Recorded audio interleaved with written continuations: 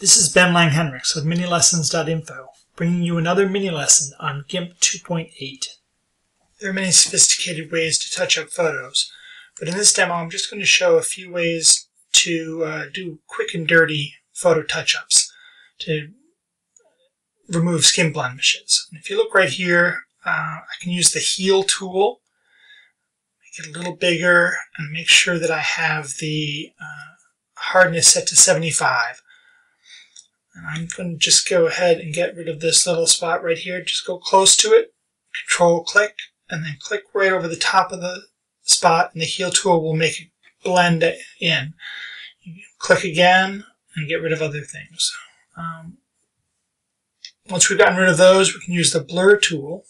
And we'll go to that.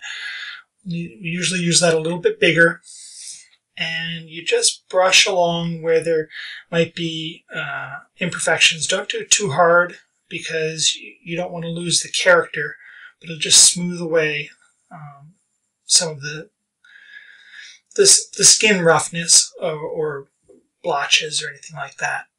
Um, if you want to change the, the size and the range down here, then you can do that as well.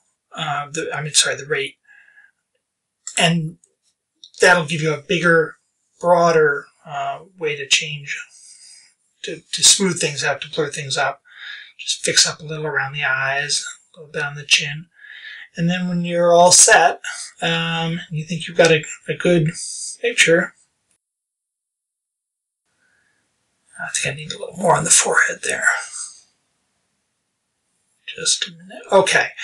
So when you think you're all done, then you back out and just take a look at the whole finished product, and there is your photo retouching.